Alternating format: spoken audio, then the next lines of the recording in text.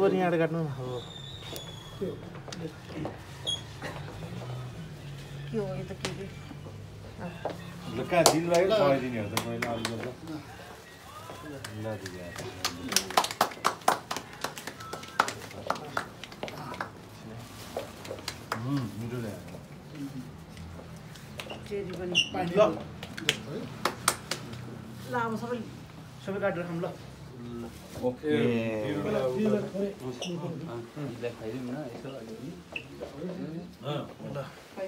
थोरै थोरै हो र हजुर मेरो नि हँ? त नि।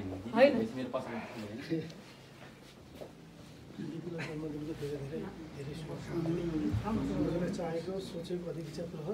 मेन त स्वास्थ्य। अँ, स्वास्थ्य राम्रो स्वास्थ्य राम्रो भएपछि। हेल्दी हुनु बहिनी के अरे दिदीले अब आज चाहिँ यो उसमा चाहिँ डेट अनाउन्स गर्नु पर्यो ए ल कहिले त्यो हाम्रोमा यसो भिडियो चाहिँ खिच्नु भिडियो अब भिडियो खिच्ने है ल अब पहिला बोल्नु न अनि म बोल्छु होइन दिदीले भन्नु न आज दिदीको बर्थडे अनि मेरो बर्थडे भनेर त भन्नु भएन बाबुले आज दिदीको बर्थडे हो भनेर म पर्सिदेखि असार पन्ध्र होइन तपाईँ यता आउनु नि त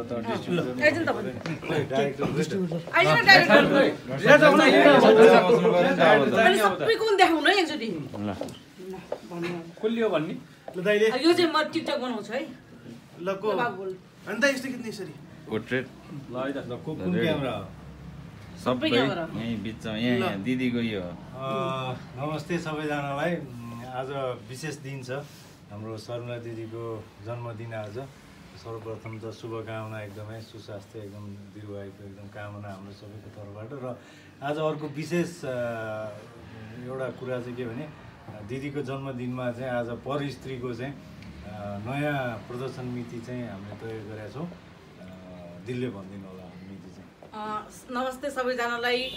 हामीले चाहिँ परस्त्री अब असार पन्ध्र गते रिलिज गर्ने भएको छौँ।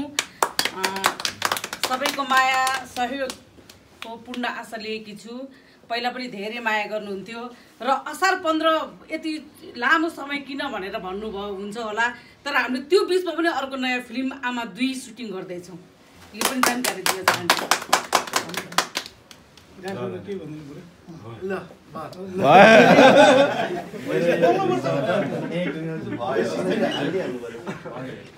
के भनिदिनु के? म पोस्ट गरिहाल्छु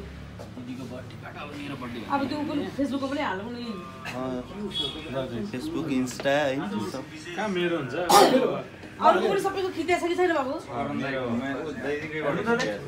ठिक छ